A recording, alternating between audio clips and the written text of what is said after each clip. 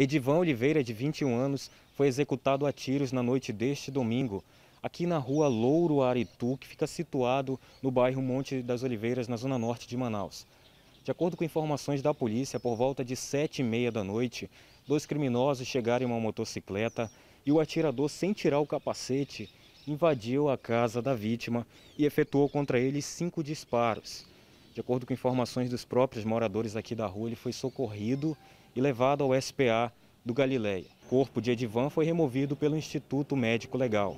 Esse caso será investigado pela Delegacia Especializada em Homicídios e Sequestros.